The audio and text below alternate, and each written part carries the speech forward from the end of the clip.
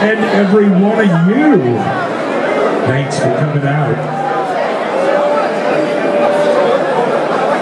You know, tomorrow night we'll be right back here.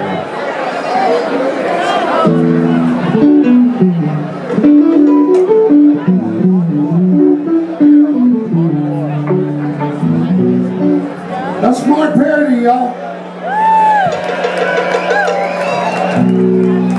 on the big funky guitar.